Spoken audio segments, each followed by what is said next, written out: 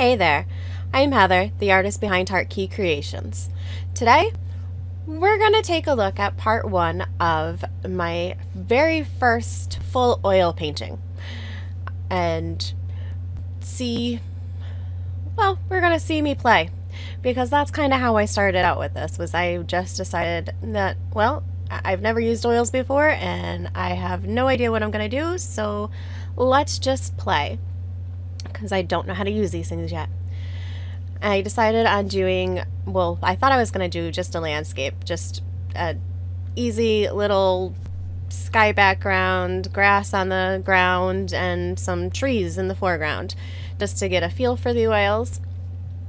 And and after I did the did that, I actually decided that I needed more trees and a dragon in there because it just wouldn't leave my mind. I needed that dragon and more trees. So by the end of this, you'll see the beginnings of my dragon.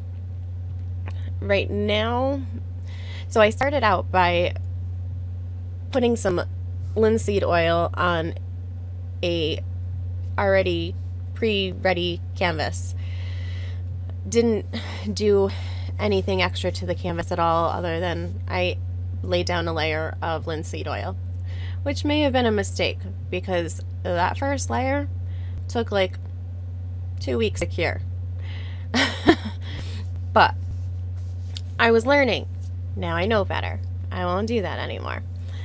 Unless I really want I'm doing a really big piece or something that I need a lot of time to be able to work wet on wet and blend easy and and so this whole first part that we're seeing right now is all wet on wet blending techniques and layering because everything is very very wet still the only oil paints that I had at this point in time, the only colors are the oil paints that came in the Gamblin 1980 set. So I'm very limited to, I think I ended up, I think I did end up using every single color in, in that palette just so that I could kind of get a feel for what they were um, or, or, and blended some of them to even yeah, I think so. I think I did. So there's like six, I think, in the palette. And it came with the non-solvent gel so that you could thicken it up more if you wanted to. I did not use any of that in this because I used most of what came in that packet or in that tube in my fluid oil paints trying to keep them from being a watery consistency after I thinned them out. However, I don't think I'll do that again. There's updates on that soon too. um, so I'm just drawing in the trees. Everything is completely free-handed in this and very loose.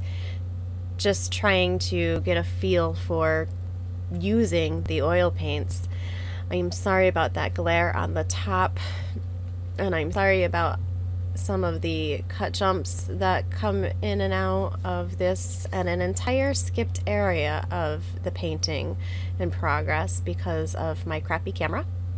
I did actually order a new camera and a arm stand for it so hopefully I can get rid of a lot of that glare that I get a lot of times depending on the position or the medium that I'm working in. Um, hopefully that will be here Tuesday.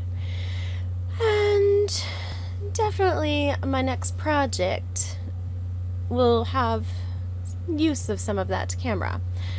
I decided to put out this little ditty today, this little piece of my art of the oil painting instead of doing it as a whole piece for two reasons. One, oil takes a really long time to cure, so it's going to take me a long time to actually finish this piece.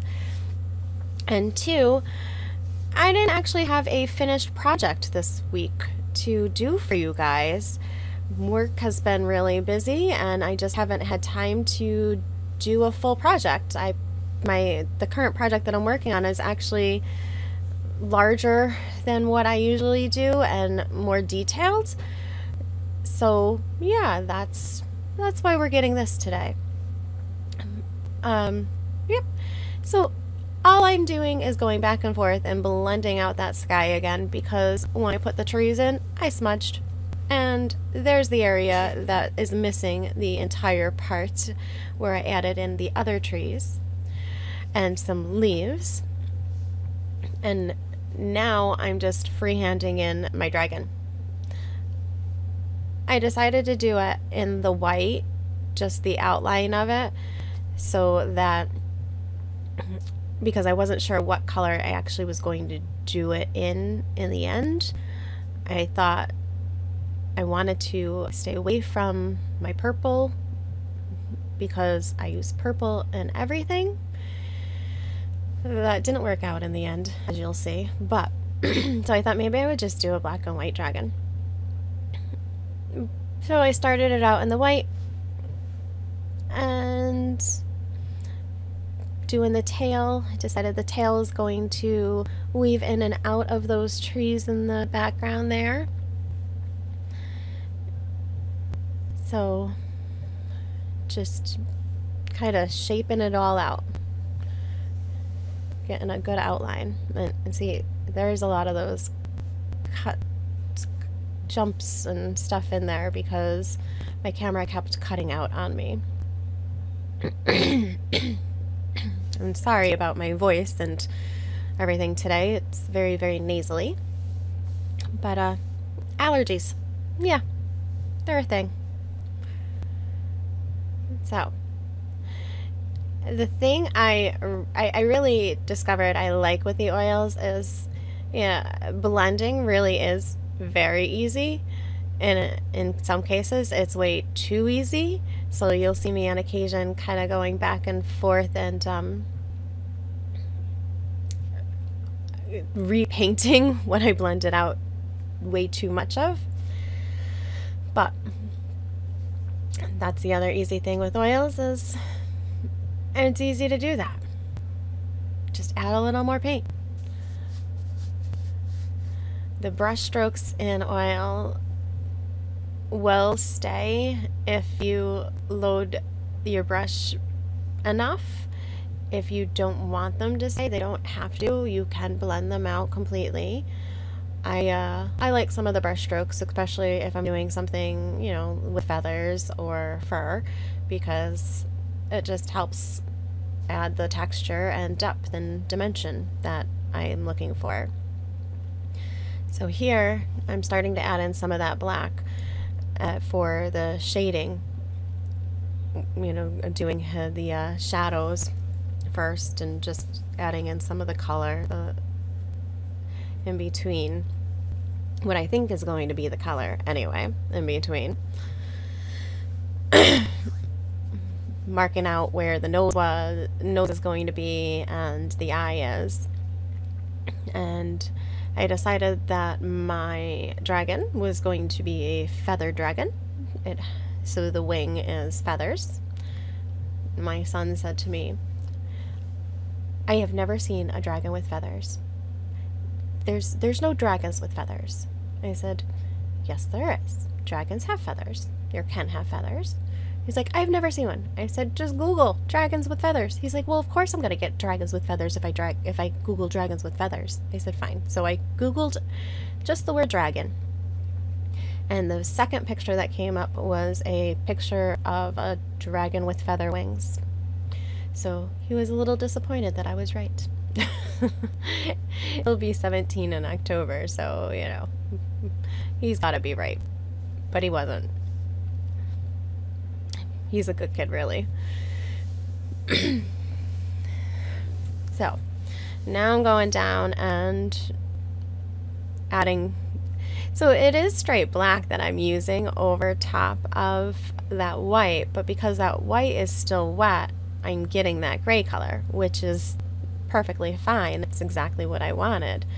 So, and I, of course, go into that tree a little bit and and not happy about it, so I'm wearing gloves, so I just tried to wipe it off.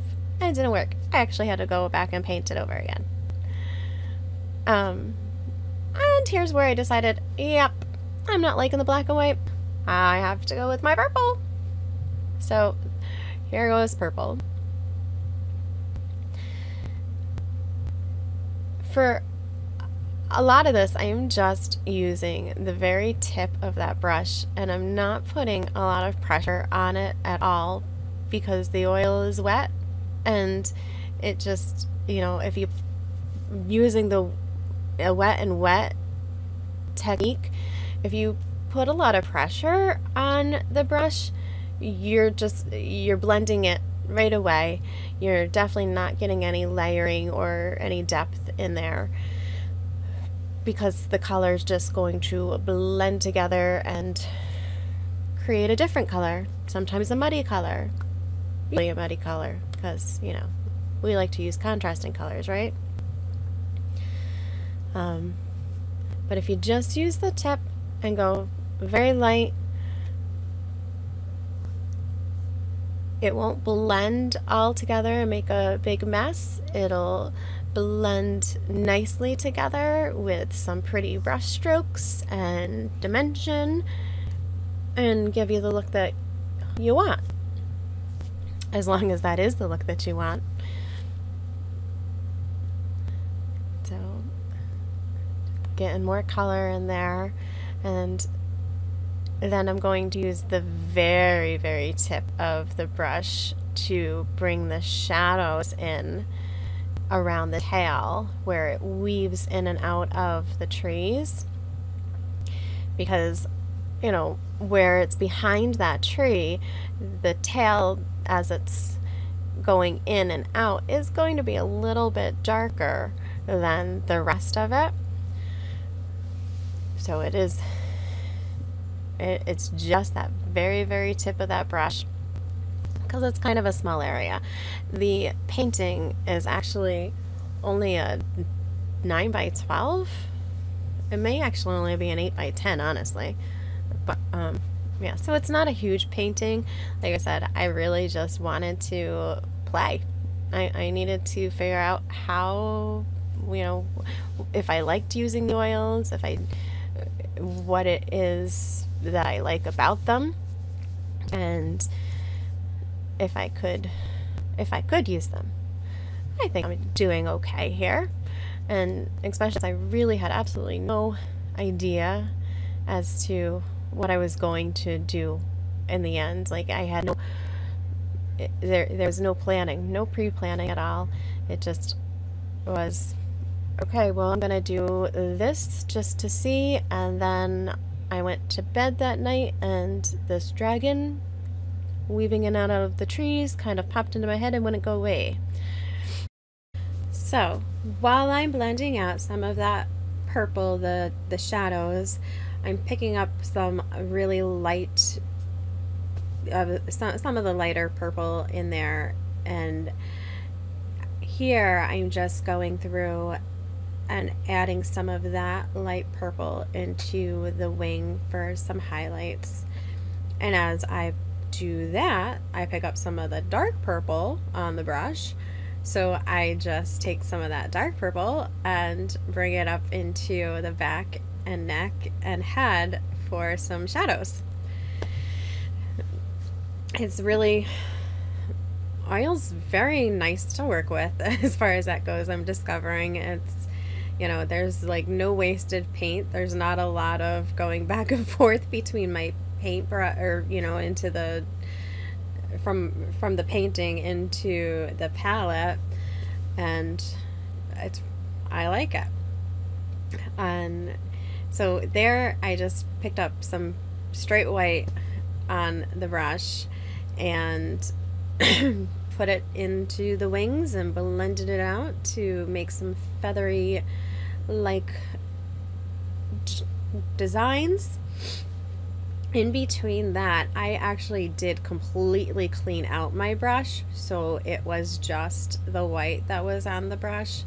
In between a lot of my other layering, I didn't completely clean out the brush. I let the other color stay in there. Um, but for the white, I wanted to make sure that that white showed up and did what I wanted it to do and just give me some feather-like uh, looks. And it did. So you can see that the first first strokes that you put down are kind of heavy. You just go back over them and blend them out a little bit. And up on top, I decided she needed a little plumage. So I gave her a feathery plumage and let that dry for a little bit and went in and highlighted the face a little bit more. And the neck and the back. And I haven't quite decided, I still haven't decided if I'm going to make her body feathered and or just kind of let it be kind of smooth, I guess would be really the word. I, I don't think I'm going to do scales, but I haven't decided if she's going to be a smooth or feathered body. So up on top, I am just putting in some shadows and coloring in the plumage so it doesn't look like it's just flat on top of her head.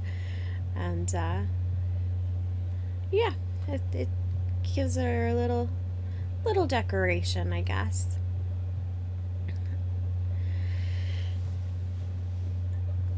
Just adding more shadows, more layers. I definitely work a lot the same with oils that I do with the acrylics and do a lot of layering. Thin layers on top of thin layers. With the oils, I think it may actually, I don't know that it works any better or any differently, honestly, than it does with the acrylics, but for me, that definitely seems to work as my technique no matter what medium I'm working in, I guess. Just a thin layer on top of a thin layer on top of a thin layer and build it up till you get it to be where you want it to be.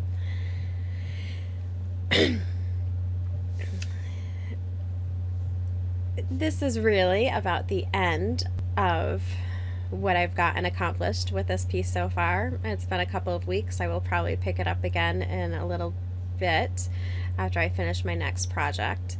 Um, what I noticed here while I was working on it towards the end was that I was actually starting to pick up some of the paint again. So I was actually creating spots that went right back down to the canvas almost, or at least down to that first layer. So I had to stop and let it dry. All right, there will be more to come.